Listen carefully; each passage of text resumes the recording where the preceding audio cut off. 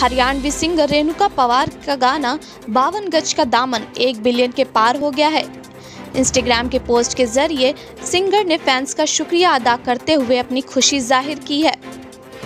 रेणुका पवार ने Instagram account पर अपनी एक फ़ोटो के साथ एक पोस्ट किया है, जिसमें उन्होंने बताया है कि उनके बावन गज का दामन गाने को एक अरब से ज़्यादा व्यूज़ आ चुके हैं।